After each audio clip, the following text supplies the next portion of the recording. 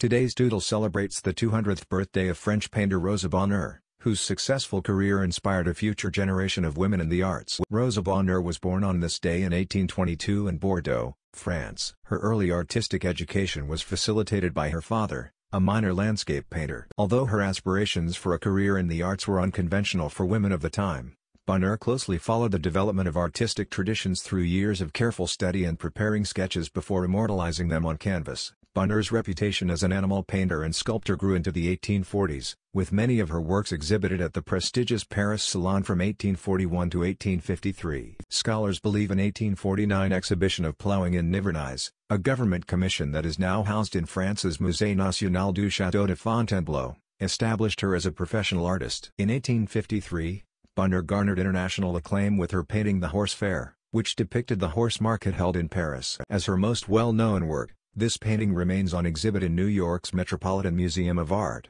To honor this celebrated painting, the French Empress Eugenie awarded Bonheur the Legion of Honor, one of the nation's most prestigious awards, in 1865. Early drafts of the Doodle. Like, share and subscribe to Doodle Catalog.